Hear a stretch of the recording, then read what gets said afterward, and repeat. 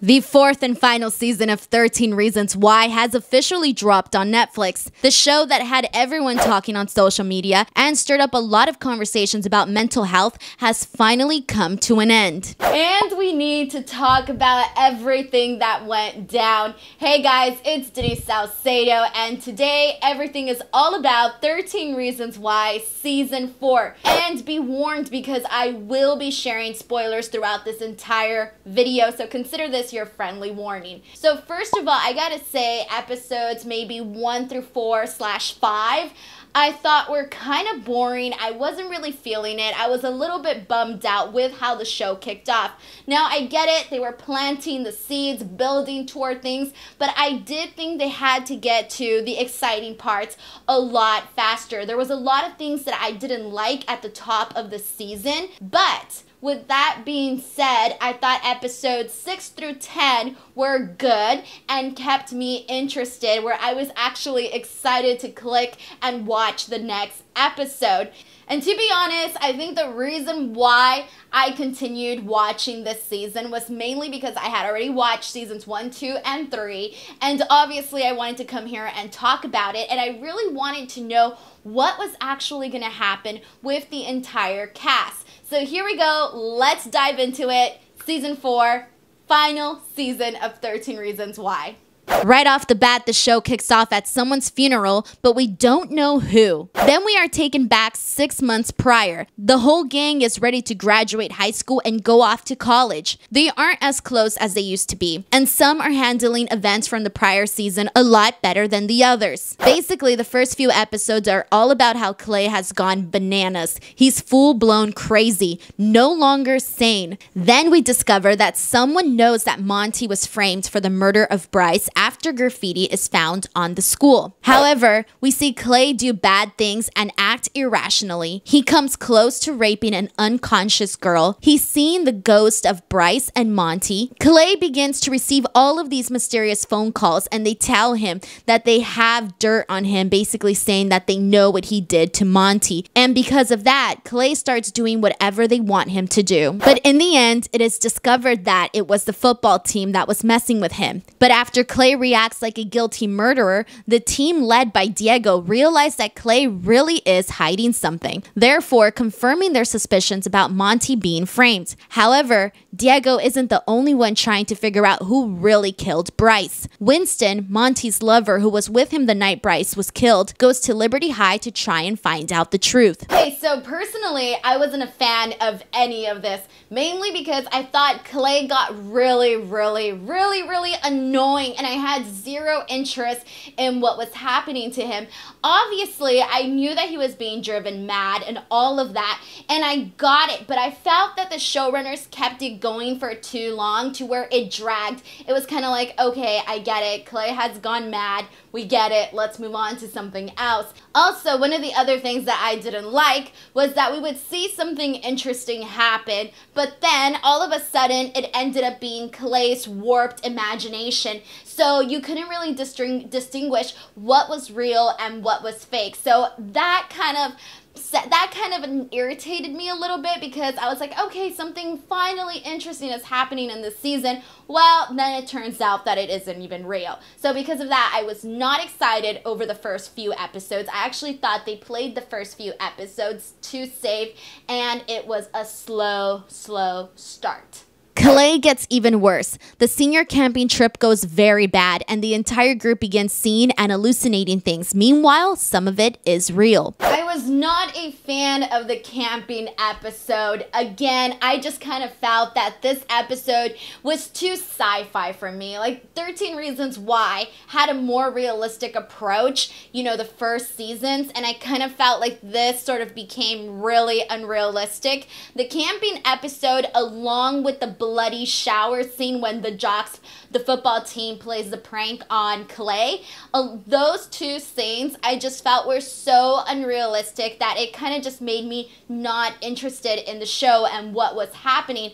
Um, so yeah, that was my criticism on that. And the season finally starts picking up when they have the shooter drill. I thought this episode was really messed up, mainly because I don't agree with false drills where the students aren't warned. And when it was discovered that it was just a drill, I thought that was a big waste of time. However, after the drill, Clay goes off on the principal and the police for exercising the drill and making them believe it. And he ends up assaulting the law enforcement officer and he is taken down and taken into a psych ward after. Clay eventually does escape the hospital. And after this, we see a school riot. The students protest the fact that there is too much police presence and high security at the school. And the principal's car gets set on fire. That is when we discover that Clay is really messed up. It turns out that he is the one who set the car on fire, did the graffiti, broke cameras at the school, and was responsible for the camping trip scare. So basically, we find out that he does awful things and doesn't even remember them. And then when it came to the riot episode,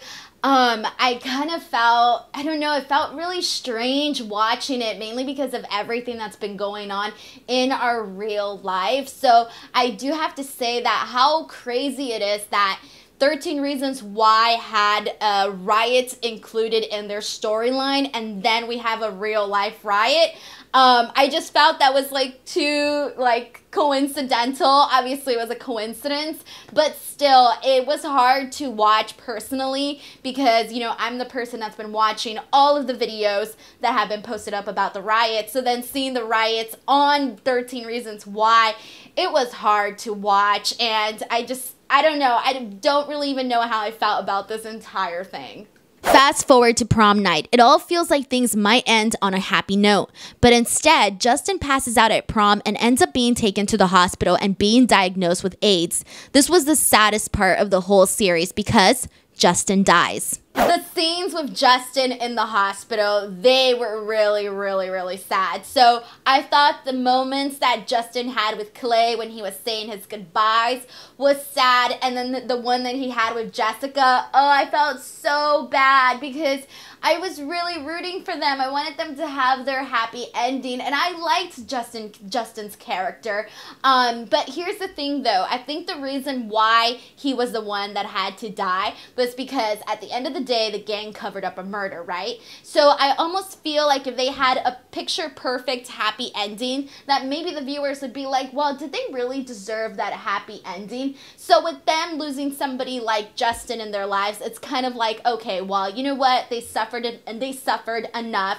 Um, yes, they did something wrong, but look at what they just lost. So I almost feel like that had to happen. And obviously, we knew they weren't going to kill off Clay or Jessica. So it had to be a character that we, you know, felt something for, that we liked, so that it could hurt us, the viewers, just as much as the characters on TV. So because of that, um, I did like this these scenes, and I also did like how Clay's parents they loved Justin like he was their own. I thought that was really nice, like seeing um, seeing them all mourn for him. It was just sad though, especially right now. Like anything that I see sad in a TV show, it just hits harder with everything that's going on in our real lives. In the end, we see the group graduate and move on, and even though the sheriff does discover that Alex killed Bryce, he lets it go and buries the records. Hannah's tapes from season 1 are also buried by the group. But now let's talk about the main characters individually. I already said that Clay's character was annoying to me for more than half of the season. I really didn't start re-liking him again until the prom episode, so basically the end. Although I do like that his character suffered the most in terms of he had really high morals and was always the good kid at the start, and he just completely unraveled after every bad thing that happened because he did care about his friends. Jessica has always been my favorite characters from the show. I love how much growth she has had. She went from being a minor character to being one of the stars of the show. I think she's a great actress and overall loved her entire storyline. Again, though, I was sad that she didn't get her happy ending with Justin. And Justin, I was so sad when I realized he would be the one dying. I always liked his character and felt bad for him. He never got annoying, and I felt bad that at the start of the season, he was the one that was really trying to get his life together, but then it all just fell apart. But if they were gonna kill anyone off, I guess it had to be him. I figured it wouldn't be Clay or Jessica, and it had to be someone the audience liked, like him or Alex. And speaking of Alex, even though it kinda came out of nowhere, we discover in the season that he is gay. And he kinda ends up having the best love story, or at least the happiest ending. We see him kiss Zach, which begins the process of him questioning his sexuality. But it's when he meets Winston and they share a few intimate moments that it's clear he prefers guys. However, he ends up falling in love with a football player named Charlie, and Charlie immediately became one of my favorite characters. I thought he was loving and sweet and kind of perfect for Alex. He was always there when Alex needed him, and he accepted him for who he is. Then with Zach. I didn't really feel his character played a big role in this specific season. He was there, but I don't think his role was as pivotal as the others. And the same goes with Ani. She was brought in last season, and this season she was gone for about half of it. I did like her friendship with Jessica, and I'm glad she didn't end up with Clay because I never thought they actually fell for each other. I felt it was more less than anything. I think their personalities worked more as friends. Tyler, to who this day had the worst scene ever on 13 Reasons Why. Every time I think about what happened to him, it just breaks my heart, makes me angry, and makes me loathe Monty all over again. So I really wanted a happy ending for him. He was kind of just there in the season. The group was suspicious of him leaking the truth, but he never did. So he proved to be a true friend. Then, I've always liked Tony on the show. He was always a good and loyal friend. I like that he became a fighter and ended up getting a scholarship. Then Winston.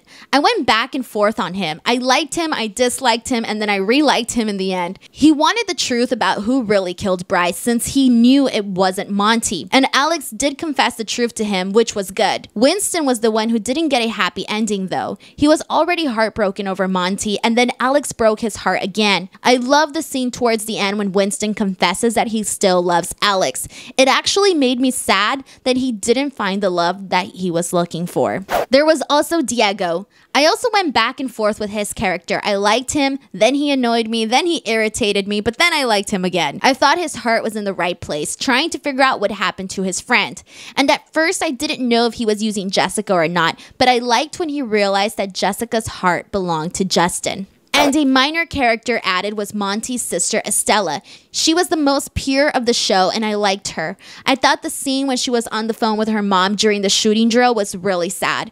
And I'm happy that she and Tyler hit it off, even though I wasn't expecting it considering what her brother did to Tyler. So there you go. Overall, I personally enjoyed the second portion of this season finale for 13 Reasons Why.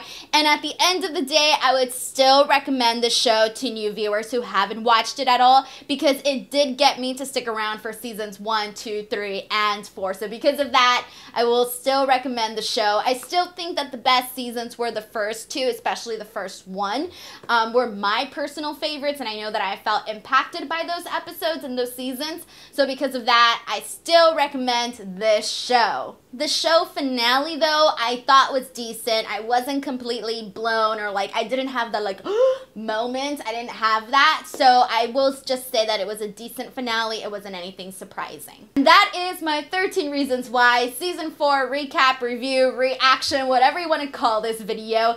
Um, go ahead and let me know in the comments section what you guys thought about seasons 1 through 4, season 4, the season finale or the finale. Um, let me know what you guys thought. What characters did you love? What characters did you not love? What scenes did you like? Which ones did you not like? Whatever you felt, go ahead and share them in the comments section below. Plus, I was also thinking about this. If you've never been to high school and you watch this show and you just happen to be like in middle school or something, just know high school is not this bad. It's not this dramatic and it's not this scary, okay? Or at least in my experience, I did not have a high school experience like 13 Reasons Why. So just a major heads up on that. Other than that, please show this video some love. Please show me the some love and give this video a like. And if you want to see more TV reviews, recaps, whatever, go ahead and subscribe to the channel. And if you want to chat more with me about about 13 Reasons Why or anything else, feel free to hit me up on Twitter or on Instagram at underscore Denise Salcedo. Until next time, I'll see you guys later. Bye, everyone.